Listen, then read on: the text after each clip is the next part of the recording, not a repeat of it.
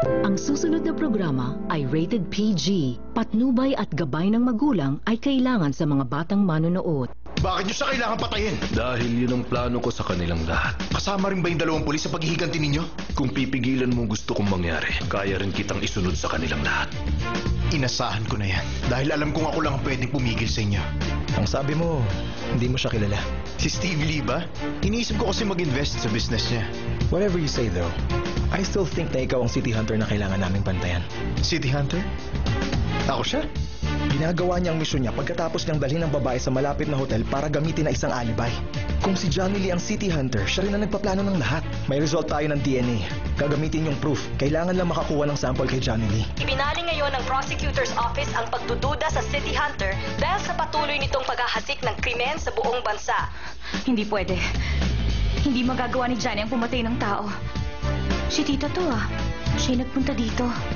Leukemia ang sakit nyo. Kung may lumapit, maghahanap tayo ng blood match para masimulan na ang marrow transplant. Nakita ko to sa gamit ko. Sino yan? Siya yung taong may dahilan ng aksidente ng mga magulang ko. Ano ngayon ang gusto mong mangyari sa Francis Kim na yan? Gusto ko siyang mahuli ng City Hunter at madala sa prosecutor's office para dun siya managot. Di ba yung City Hunter, hindi naman siya pumapatay ng tao? I don't know.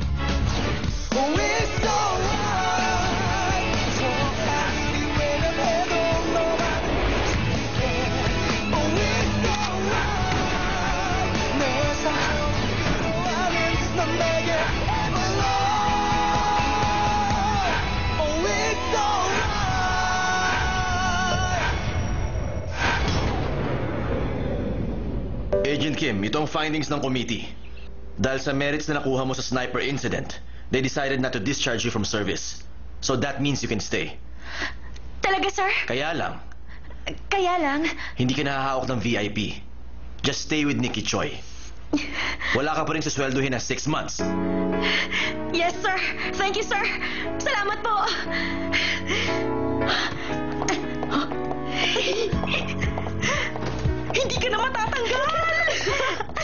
Mas masaya ako ngayon kaysa nung natanggap ko yung offer dati. Si Cindy ako natanggal, ililibre ko kayo. Dapat lang, kapag nawala ang magaling sa judo, sino pa magtuturo sa amin? Alam nga naman ako. Hmm, sinabi mo pa. Halika na doon, kumain na tayo. Tara! Ah, Nana, ang galing mo naman. Hindi ka natanggal pagkatapos ng second probation. Bago naman yung probation, alam ko namang may nagawa akong maganda sa opisina namin eh. Salamat na rin sa kanya. Okay, simulan na natin! Sayang ang galing at ganda namin kung magkwekwentuhan lang. Training pala to? Akala ko ba gym bag ako pantanggal ng stress eh. Ah, ganun ah. Ah, Agent Kim, humihingi yata sila ng matinding training. Huwag kang mag-alala, yun ang makukuha ng buong team nyo ngayon. Master, nagbibiro lang ako. Ano ba? Bakit siya ba ganyan?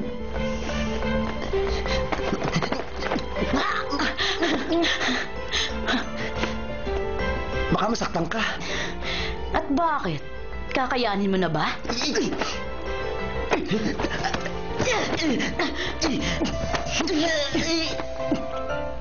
Kapag malapitan, nakikita ko kung gaano ka kakinis. Ano bang sinasabi mo sa akin? Oh.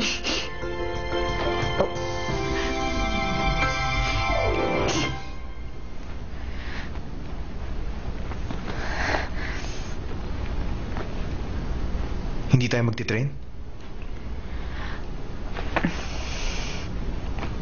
Gusto ko mag-training.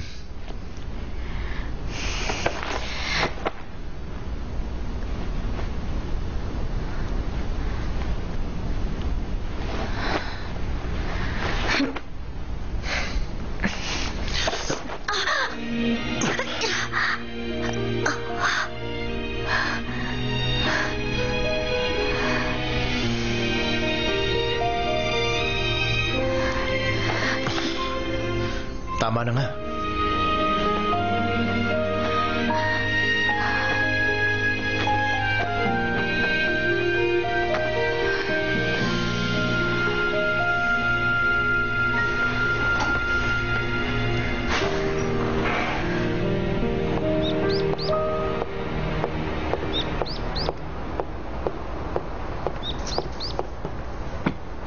O yan. Kunin mo na. Sabi mo magbabatian naman tayo. Alam mo na namang hindi ako natanggal, di ba? I-congratulate mo ako katulad noon.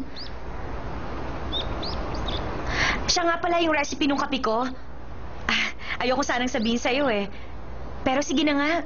Pinaghahalo ko na kagad yung kape ko. Tulad ng kape sa lounge natin, tapos dinodoble ko lang kahit nga lagyan mo ng ice, masarap pa rin. Para kahit wala na ako, alam mo na kung paano gumawa. Ah, importante din yung dami ng tubig ah. Nakikita mo ba tong linya na to? Kapag sumob... Tama na. Pati ba yan? Hindi ka ba nahihiya? Desperada ka na ba? Dahil gusto kita.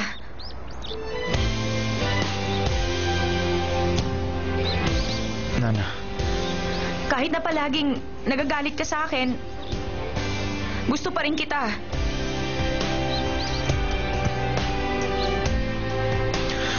sinabi kong tama na yan. Hinalikan lang kita dahil naisipan ko lang. At marami kayo naghahabol dahil sa isang halik lang. Na kailangan ko pang kumuha ng number para ma-date lang kita, ganun ba? Hindi ko gusto ang tipo mo. Gusto mo bang bigyan kita? Nang salamin para makapagsalamin ako. Alam ko namang hindi akong babaeng magugustuhan mo eh. Hindi rin naman ikaw yung gusto kong lalaki. Kaya lang, gusto pa rin kita eh. Palagi pa rin kitang hinahanap araw-araw. Nababaliw ka na. Oo na. Alam ko kung ano yung tsura ko ngayon. Pero kasi, gusto kong maging totoo sa'yo. Hindi na nga lang kita papansinin. Klingi ka eh.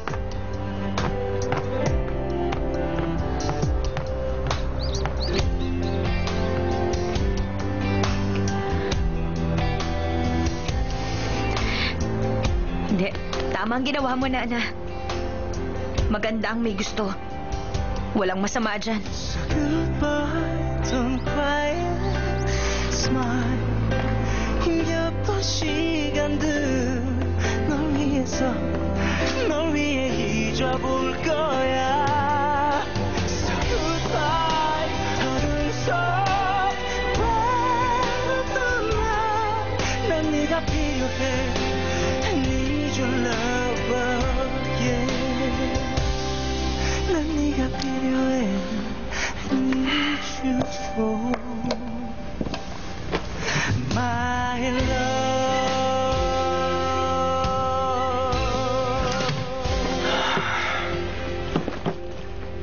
ano? Sabi na eh.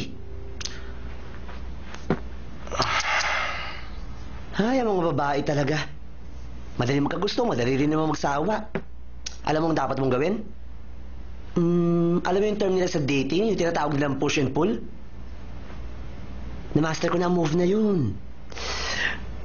Lumabas tayo minsan. Tsuk, tsuk. Bibigyan kita ng pointers. Hindi ka ba busy ngayon? Dapat siguro magka-reorganization dito eh. Kung ayaw mo, okay lang naman eh. Puro wasabi naman yung kinain sa sushi kong dala. Ang hangatila.